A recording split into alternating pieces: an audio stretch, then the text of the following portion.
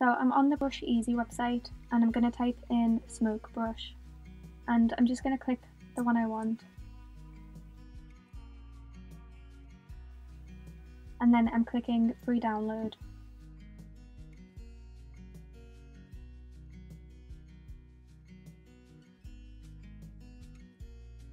And then click download at the bottom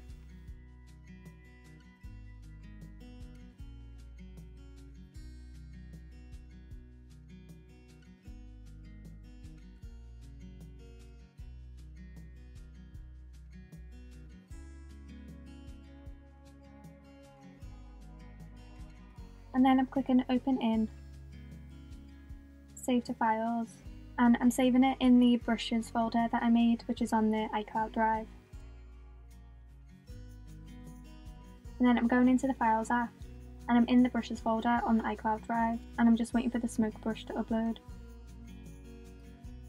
And then I'm clicking on the zip file which is going to uncompress it. And then I'm going over to Affinity and I'm clicking on the brushes studio and then on the three lines at the top I'm clicking on import brushes and then I'm just going to click on the smoke brush which is going to bring it into Affinity.